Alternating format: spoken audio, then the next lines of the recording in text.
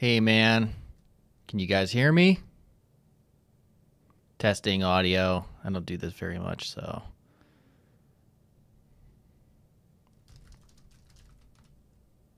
Test, test, test, test. It's real professional stuff we got going here. Cool.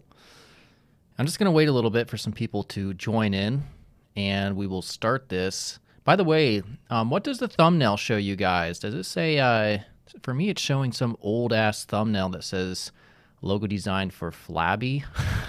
Hopefully, that's just on my end.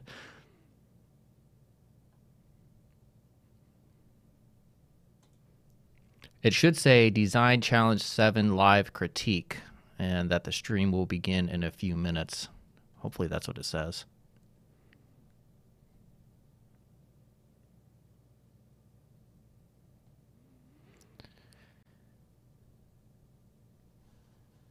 What is it actually showing you guys right now? All right, cool. Yeah, I'm going to switch off to where it shows my mug here in a second. I'm just going to wait for a second for more people to show up. All right, cool. Yeah, the red dot, that's what you should see.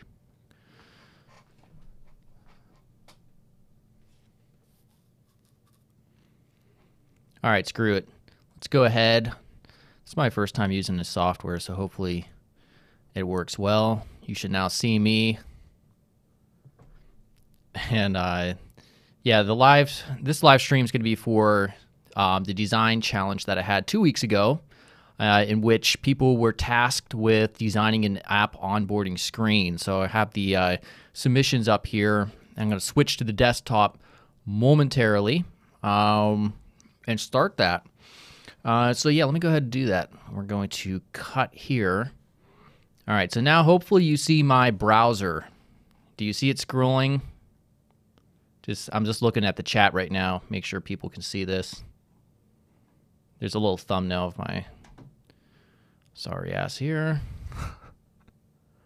All right, well, I'm just going to go ahead and get started. So, just to recap real quickly, um, the challenge description was basically to design an app onboarding screen that would be based on an app that's for rating alcoholic beverages because that I I'm an alcoholic somewhat. I used to be pretty bad, but um, I kind of limit to just maybe once or twice a week now. Actually, if you look at old thumbnails of my videos, like a long time ago, I'm like all bloated and shit because I was such a an alcoholic. But anyhow, let me continue on with this. Uh, so yeah, the slide title, you know, find the best alcohol. Description: users like you rate the alcohol that they're drinking. This makes it easy to find the good stuff.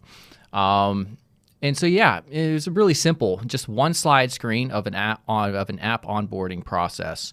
Um, and so of course, submit with good design pr- principles in mind. You know, good white space, good color, good contrast, good visual hierarchy.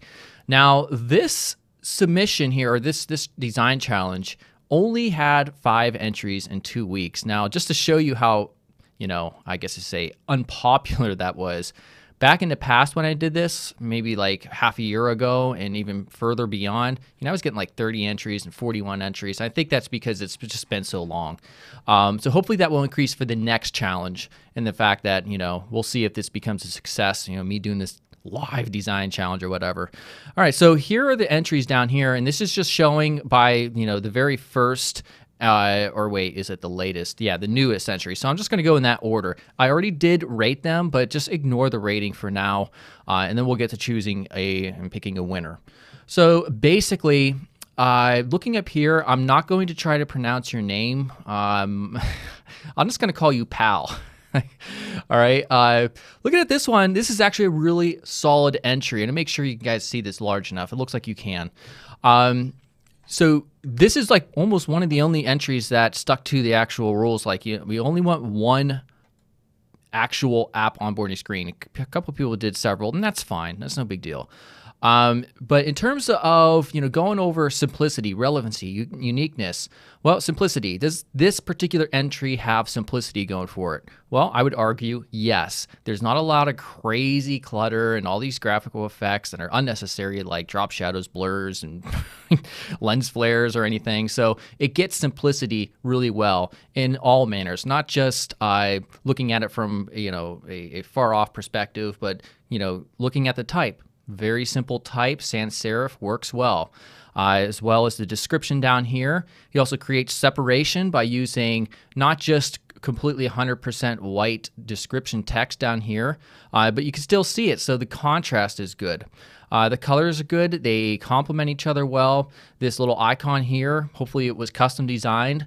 That works as well. It has style with a little smiley face. And then finally down here we have the get started button.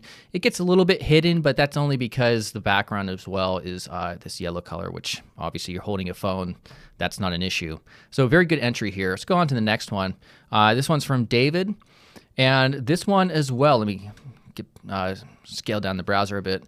Yeah, this one as well as I I really like the layout of it and the fact that you did something really interesting and that was very relevant and that is having the like the, the beer suds or suds or whatever you call them uh, down here at the bottom. Also, the uh, little sud bubbles uh, coming up here. I'm not sure if you can see it, but they're just there and they're faint enough to where it doesn't contrast a lot with what's happening in the foreground in the content.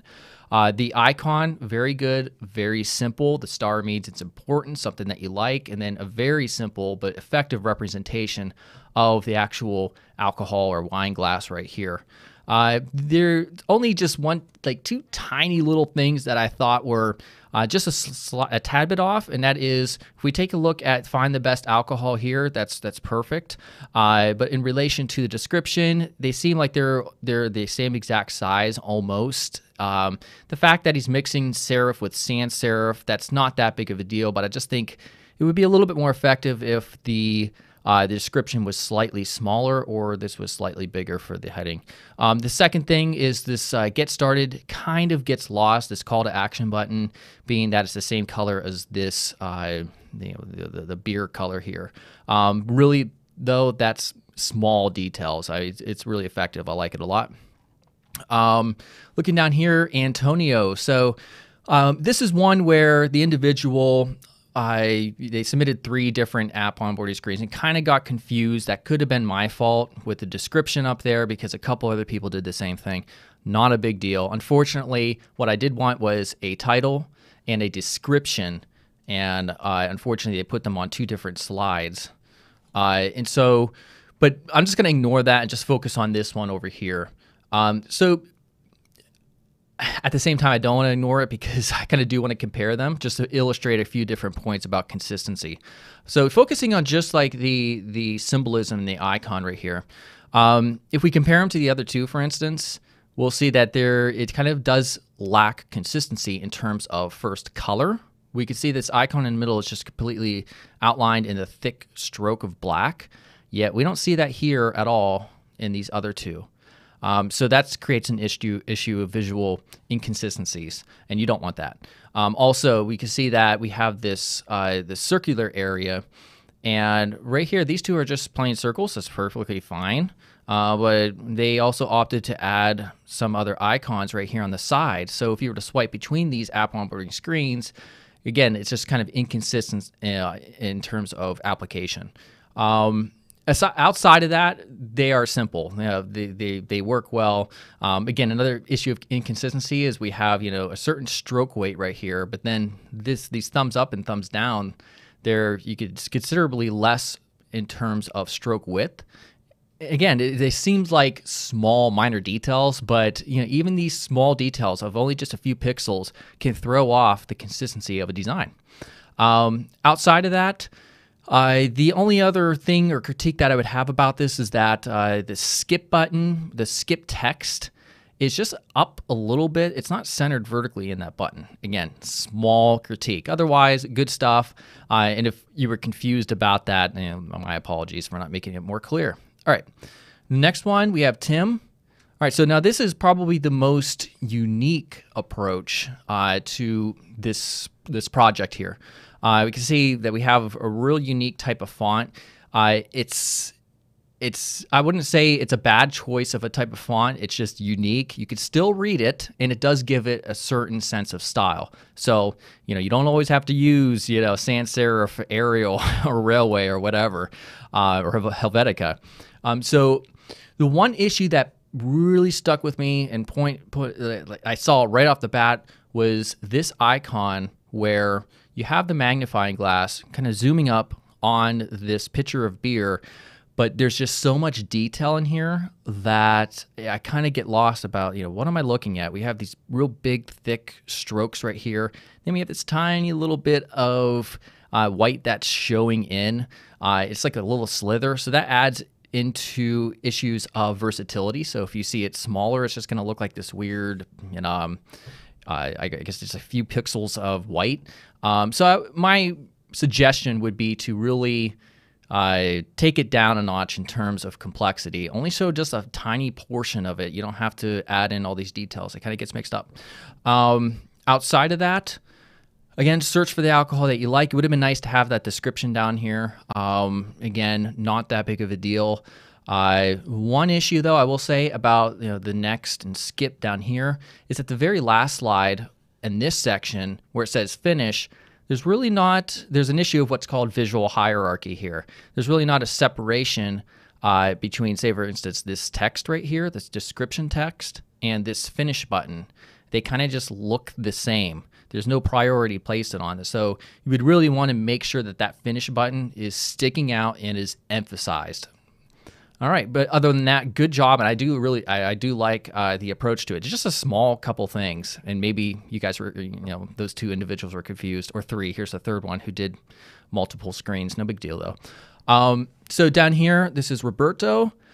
All right, so looking at this, uh, they opted going for a black or near black background, which is fine. Um, yeah, again, it would have been nice to have the description over here. No big deal.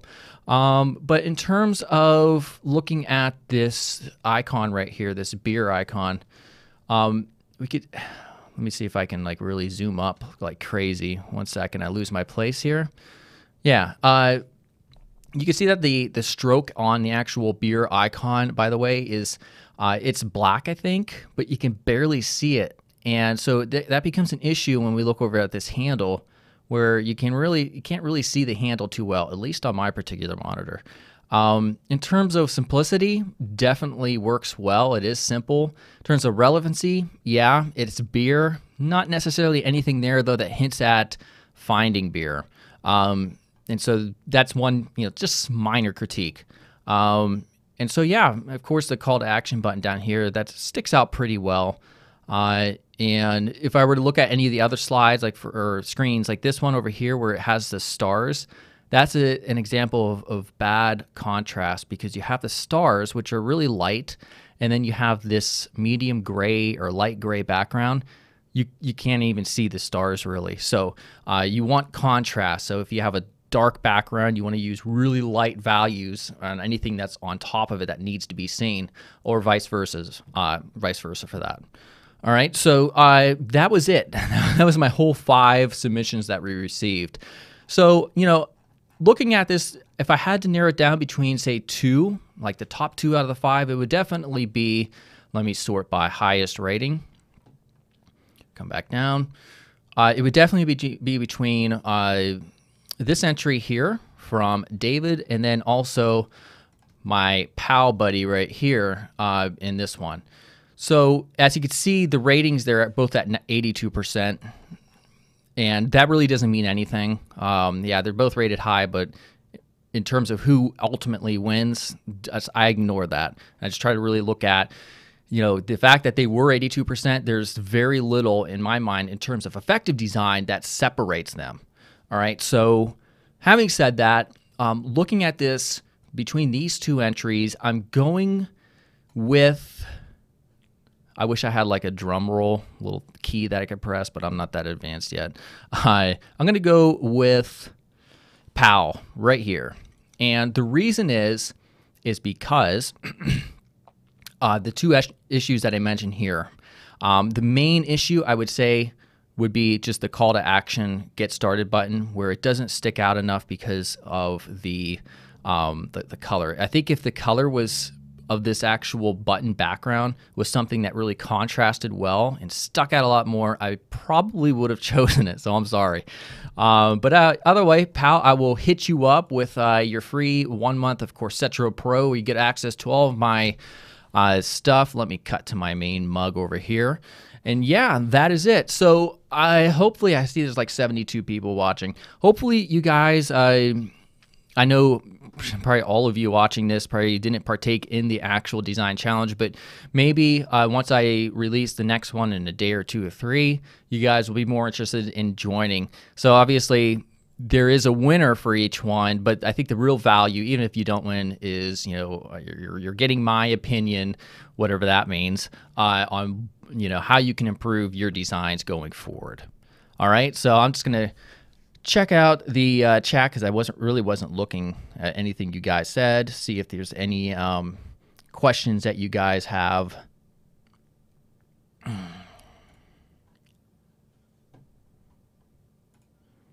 No, I'm just not that popular, I guess. oh, there's a dude on Slack. He says something about payment. Okay. Yeah, in terms of uh, tutorials and courses going forward, right now, oh man, I'm so busy. I'm working. I'm working with LinkedIn Learning, which bought lynda.com, and I do courses for. I'm doing a course for them, and I also do courses. I've done courses for the past two years for uh, um, Pluralsight, and I, there's, there's like two di- deadlines within the next week that I have to get done. So there's not going to be much coming up within the next week, but after that. Uh, yeah, I'm going to be going full on again. My site, Coursetro, by the way, has been kicking ass. Uh, yesterday was a big milestone. I, I got 5,000 visitors in one day from Google, so that's kind of exciting, which accounts for like 98% of my traffic as it is.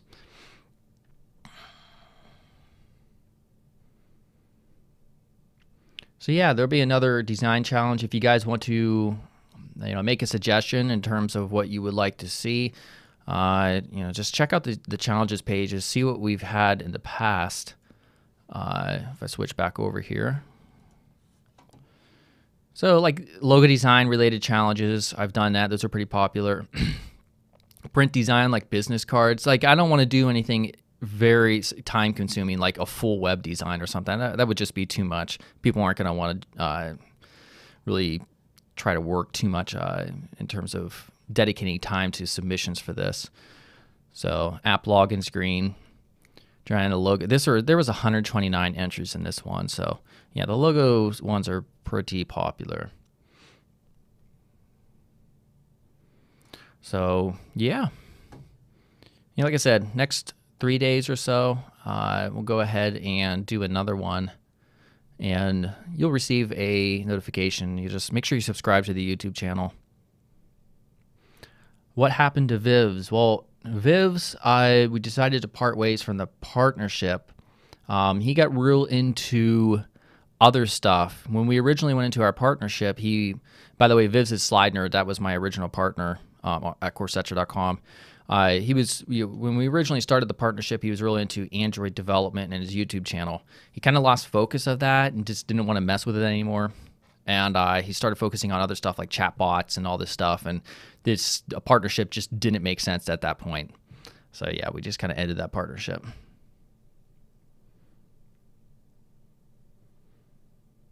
Oh yeah, um, if Pal is here, the winner, uh, make sure you uh, remind me. I'm not the, the greatest at issuing. Uh, actually, just to make sure, I will do it. I will give him the free access once I end this stream. So, yeah, because sometimes people have won in the past and I just close it and forget about it. And they're like, dude, where the hell is my prize? I'm like, shit. All right. All right, guys, I think I'm going to go ahead and end it. Yeah, look out for the next one. Hopefully, participation increases the next time. And I will see you later. Now, how do I stop this damn thing?